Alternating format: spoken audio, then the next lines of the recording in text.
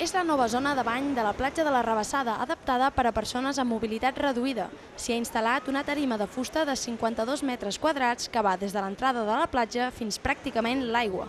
A més, s'ha senyalitzat i doblat l'amplada de la passarel·la, que hi dona accés.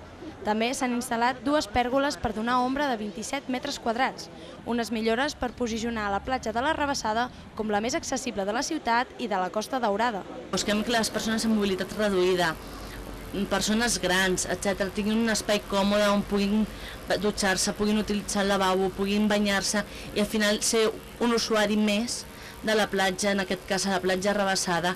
D'altra banda, s'han realitzat en total 164 serveis de cadires i crosses amfíbies que faciliten el bany a les persones amb mobilitat reduïda, un servei que presta la Creu Roja i que du a terme personal qualificat de l'equip de salvament. Pel que fa a les places d'aparcament reservades, s'han ampliat i han passat de 3 a 6. Alhora, també s'ha facilitat l'accés al transport públic amb una vorera ampliada i la instal·lació d'una rampa a la parada de bus.